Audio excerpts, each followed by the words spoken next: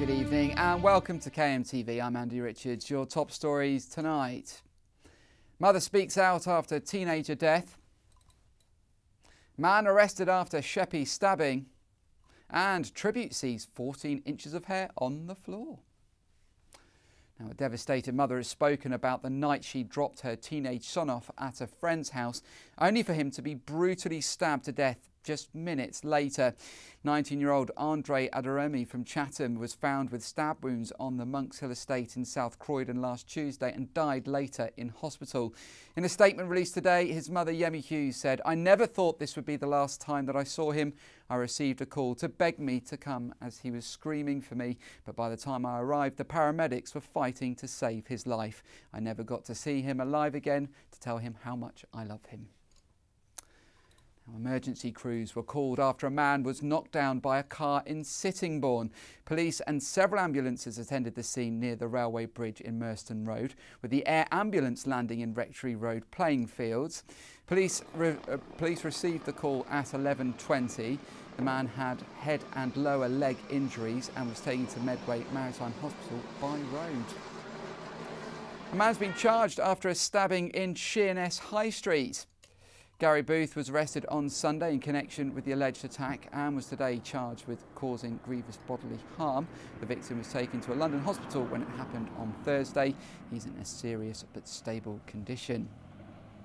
Today marks the 25th anniversary of the public logging on to the World Wide Web. Computer scientist Tim Berners-Lee created the internet in 1991. It's revolutionised the world, but in some so-called broadband black spots in Kent, people still struggle to, to, for access to it. Henry Sandercock has more. We all take a simple Google search for granted. At the click of a mouse, millions of web pages are suddenly at our disposal. According to the ONS, 19.2 million homes are connected to the internet, with 30 million of us logging in every day. The way in which we interact with the internet is in constant flux. In just the last year or so, more of us have been accessing it from our phones than from desktop computers. Kent is one of the worst places for connectivity, with notorious black spots in Farningham, Cranbrook and Barham.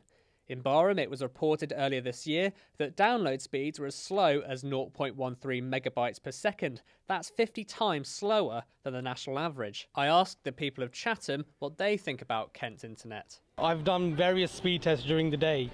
If you do a speed test at about 9 o'clock at night, it's very fast.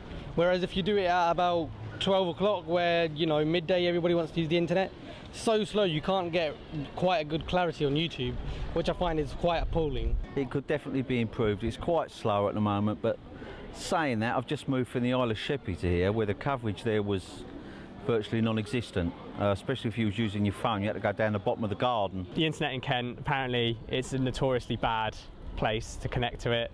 What do you think? Personally, I think I never had a problem connecting to the internet in Kent. I live in Strood, so I don't have a problem with it. I don't know about the whole of Kent, but as far as where I live, I'm fine with it. It would seem that two and a half decades on from its inception, the internet has a lot to do to make us all happy surfers. This is Henry Sandercock reporting for KMTV in Chatham. And finally, a girl's had her hair cut off in memory of tragic Sheppey crossing crash victim Deborah Roberts. Rose Street primary pupil Caitlin Toomer was friends with her son Marshall, who also died in the accident. The nine-year-old originally came up with the idea in 2013 when Ms Roberts was battling breast cancer.